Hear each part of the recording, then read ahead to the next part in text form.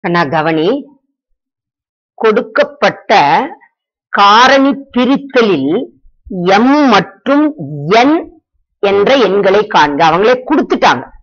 இந்த காரணி பிரித்தல் என்னன்னா முதல் இந்த அடிப்படை எண்ணியல் தேற்றம். அது என்னன்றத பாருங்க. ஒன்னை தவிர்த்து மற்ற அனைத்து இயலெண்களையும் பகா எண்களின் பெருக்கற் பலனாக காரணிப்படுத்த முடியும். இப்ப ஆறு அப்படின்னு என்னது? ரெண்டு ஆறு. ரைட்டா அஞ்சு ஓரஞ்சு அஞ்சு.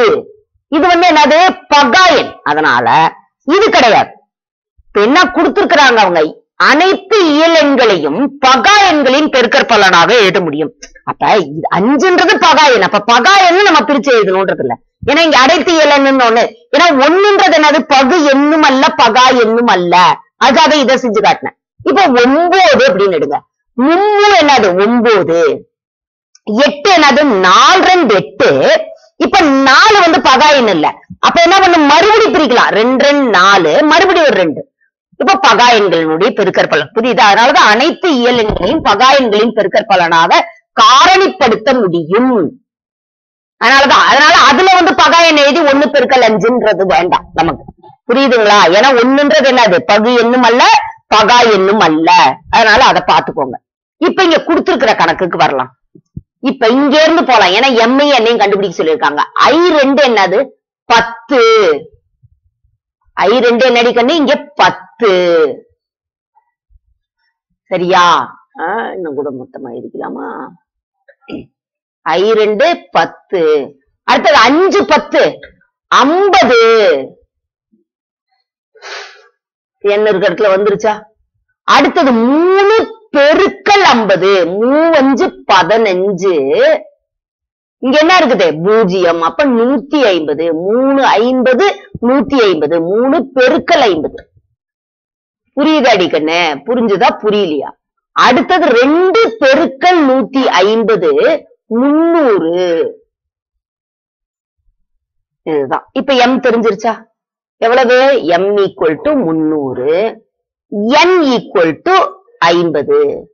இந்த நல்ல இந்த தேற்றம் வந்து இப்ப கேட்டாங்கன்னா கூட எழுதணும் ஒன்னை தவிர மற்ற அனைத்து இயலெண்களையும் பகா எண்களின் பெருக்கற்பலனாக காரணிப்படுத்த முடியும். இதுல ஏதாவது கஷ்டம் இருக்குதா? அனைத்து இயல்களின் இயல் எண்களையும் பகா எண்களின் கா- பெருக்கற்பலனாக காரணிப்படுத்து. இதுல மேலும் இந்த காரணிப்படுத்துதல் ஆனது பகா எண்களை எழுதும் வரிசையை தவிர்த்து ஒரே முறையில் அமை இப்ப பகா எண் வந்துருச்சுன்னா அந்த இடத்த மறுபடியும் பிரிக்கலாமா? காரணிப்படுத்தலாமா? கிடையாது. அதான் இந்த காரணிப்படுத்துதலானது பகா எண்களை எழுதும் வரிசையை தவிர்த்து. ரைட்டா? பகா எண் எழுதும் எழுதிய வரிசையை தவிர்த்து அமையும். ஒரே முறையில் அமையும். அதனால இத புரிஞ்சுக்கணும் நம்ம. அதனாலதான் இந்த பகா எண் வந்த உடனே என்ன பண்ணிடுறோம் அத? விட்டுடுறோம். இப்ப அதே மாதிரி இது சில குழந்தைங்க இதை கேட்டாங்க. லெஃப்ட் இப்படியே லெஃப்ட்லயே தான் எழுதணுமா மிஸ் வேற மாதிரி எழுதக்கூடாது. தாராளமா எழுதலாமே. ஏன் எழுதக்கூடாது? இப்ப இதே இதே நான் கொடுக்குறேன் பாருங்க இப்ப. இப்ப முன்னூறுன்னு இருக்குது. இங்க என்ன இருக்குது? முன்னூறுன்னு இருக்குது. இங்க என்ன பண்ற? நூத்தி ஐம்பது பெருக்கல் ரெண்டு. அப்ப எந்த பக்கம் பிரிக்கிறேன் இந்த பக்கம் பிரிக்கிறேன் அப்ப என்ன பண்றேன் அப்படின்னா நல்லா கவனி. மூணு பெருக்கல் ஐம்பது அப்ப இதை இப்படி பிரிக்கிற எந்த நம்பரை எந்த பக்கம் வேணாலும் எழுதலாம். அதுக்காக அவங்க சொல்லிட்டாங்க இந்த பகா எண்கள் எழுதும் வரிசையை தவிர்த்து. அப்ப இங்க என்ன எழுதலாம் நம்ம அடுத்தது? பத்து பெருக்கல் அஞ்சு. அப்ப பத்தை எப்படி பிரிக்கலாம். அஞ்சு பெருக்கல் ரெண்டு இல்லாட்டி ரெண்டு பெருக்கல் அஞ்சு. புரிஞ்சுதா அடிக்கண்ணே? இப்ப இதுல எதெல்லாம் இந்த இந்த இப்படி நிக்குது பத்தியா? இதெல்லாம் இதெல்லாம் பகாயன் ரைட்டா அதனால இப்படியே தான் எழுதணும் அப்படின்றதெல்லாம் இல்லடி கண்ணு. இப்படி கேட்டு கேட்டிருந்தாங்க. இப்ப அப்ப சப்போஸ் இந்த இடத்துல அவங்க என்ன கொடுத்துருந்துருப்பாங்க? இப்ப இந்த இடத்துல நான் என்ன பண்ணி இருந்திருப்பேன் என் அப்படின்னு கொடுத்துருந்துருப்பேன். இருங்க ஒரு நிமிஷம்.